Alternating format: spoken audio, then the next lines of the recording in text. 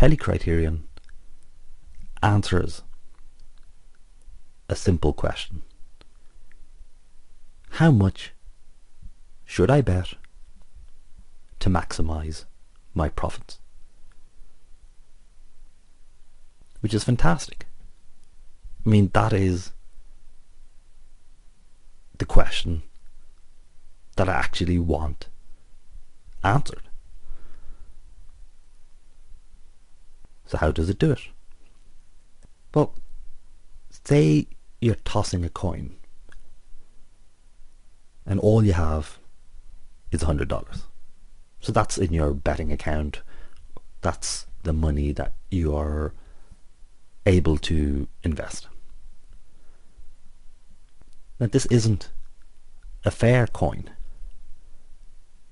And you know that you win 60% of the time. Yet, you'll double your money if you win and lose your stake if you lose. So the game is biased in your favor. So, you know, you should bet. You should invest. But how much? And that's what Kelly tells us. So what would you do? And why?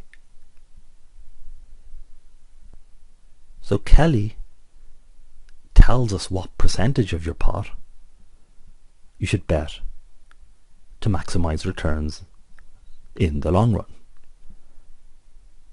So an important point there is percentage of your pot.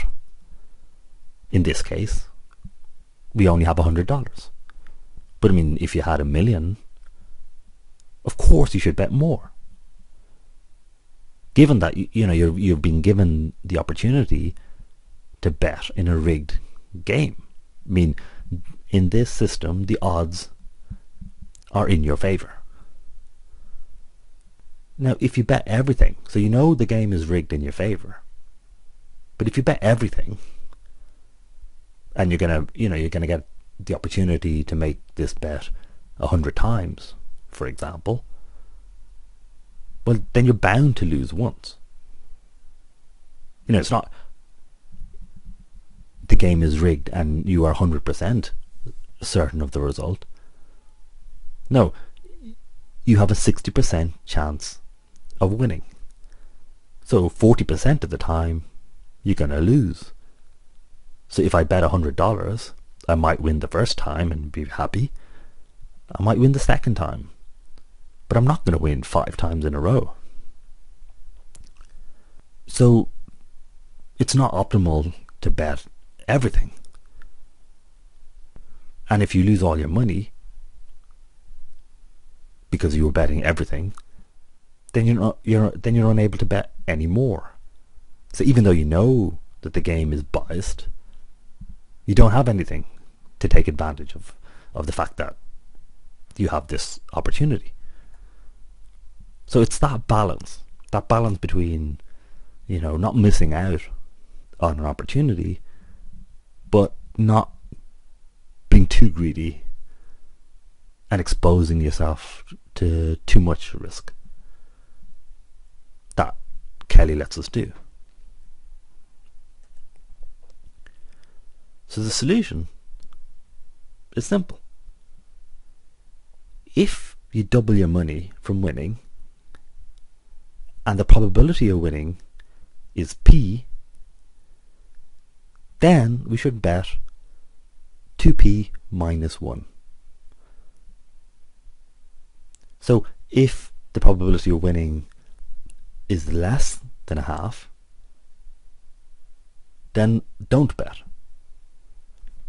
In our example, we're saying that the probability of winning is 0.6. So then 2p minus 1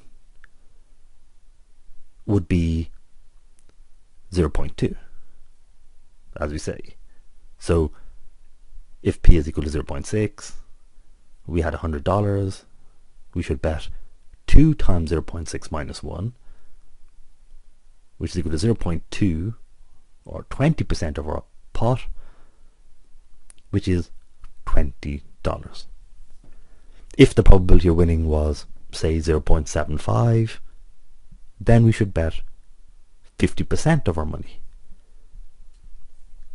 If the probability of winning was 0.6 and we bet $20, we could lose. So then we'd be down to $80. Next time we'd bet 20% of that. So we'd bet $16. If we lost, we'd be down to what? $64. And so on. So by betting a percentage, we, we, we never run out, or we shouldn't run out.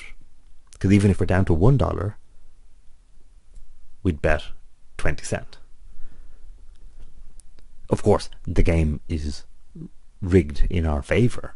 So typically we should be making money.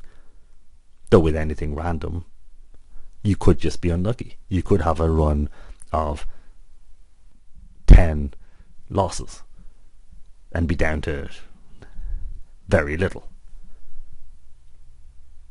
So that's the Kelly criterion. A very powerful and useful concept since it actually answers the question that we want answered. So then we know, okay, if the probability, if our estimate of the probability is greater than a half and we're doubling our money if we win, then this is, we know how much we should be betting. Of course, it doesn't mean that now you magically will be always making money. Um, you are you are only estimating the probability most of the time, and there are all kinds of factors which we'll go into more next week.